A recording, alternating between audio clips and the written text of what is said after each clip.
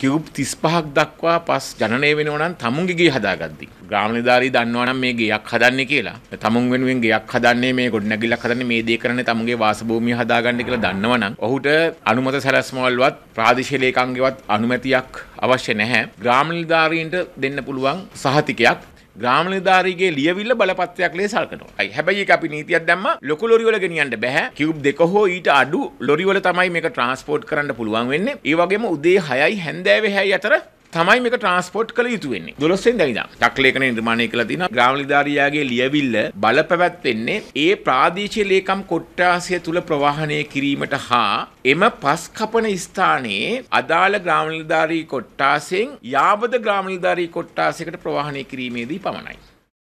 ප්‍රවෘත්ති රසවිදීමේ පළමු අත්දැකීමට www.itnnews.lk වෙත එන්න.